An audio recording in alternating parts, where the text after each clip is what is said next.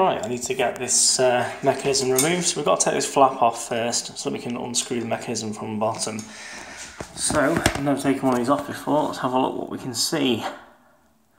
I've got some sort of clips that we can take off there, I think, and some springs. To make sure we don't launch those springs. I'll get some small pliers and see if I can pull those off. Go, that's the flap removed. So we, we had two little clips and two springs.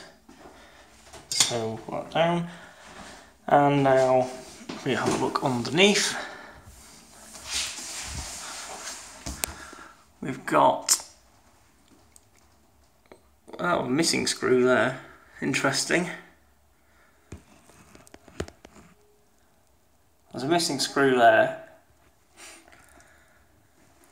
And then there's two there. So there's three hex screws, it looks like it should be four, but one's missing. We need to get those removed.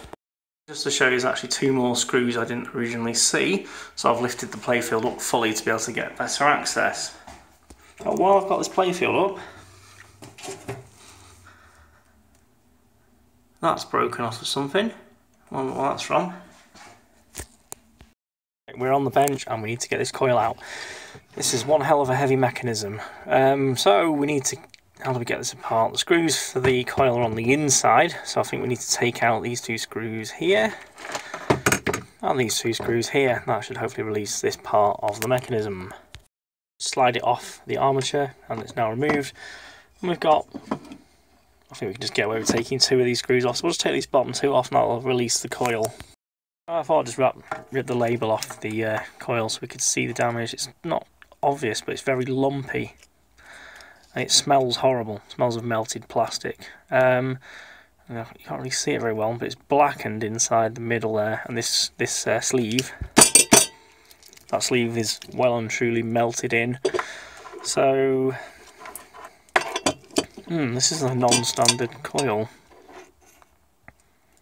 So the wires go through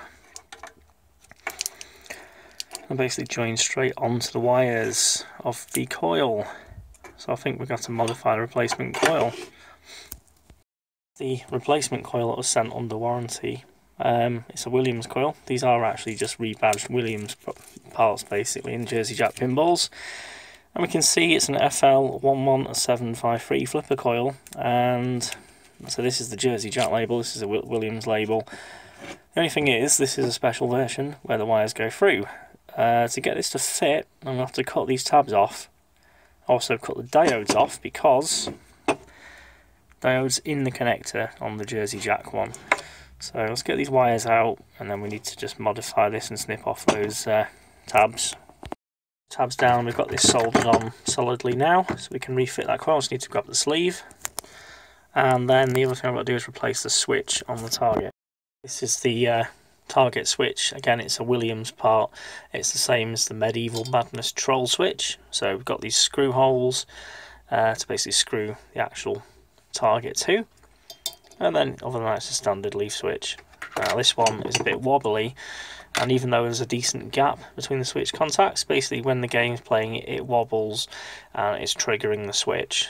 So that's going to replace that, and then hopefully we won't get the coil burning out again. Here's another flaw with the game. Uh, after only a few games, if we have a look at the target, there's like a light guide underneath. It's actually hard to get it to focus, if you, you'll have to give me a second. So basically it's two plastic rectangles to, to basically direct the light. And if we can get a focus on it,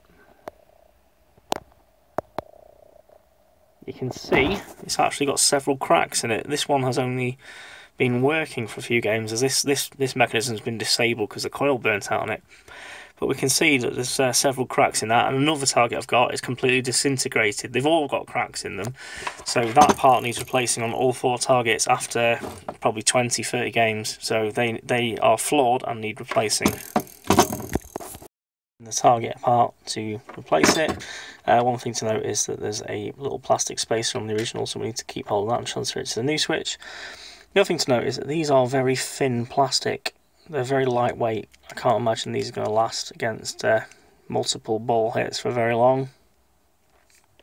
So I imagine you need a spare set of those if you're on a Hobbit. The coil sleeve and switch fit replaced. We can now see it's now working freely, so we can go and reinstall this in the game. installed and now we can uh, re-enable it in the game and test it. Test mode, let's just test the pop-up.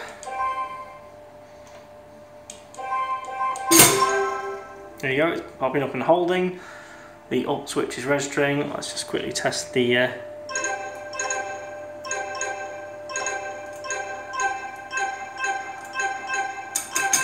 That seems to be working fine. Let's just bash the cap a little to make sure it's not registering vibrations anymore, and it isn't, so that's good.